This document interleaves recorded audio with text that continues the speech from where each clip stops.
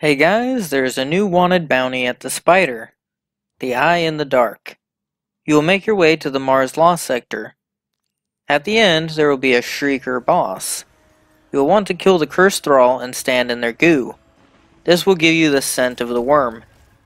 This was something brought from the Taken King in Destiny 1. You would get the scent of the worm to open a chest.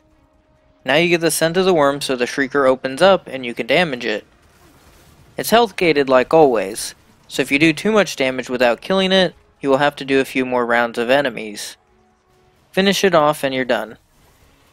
Cheese forever, Guardian!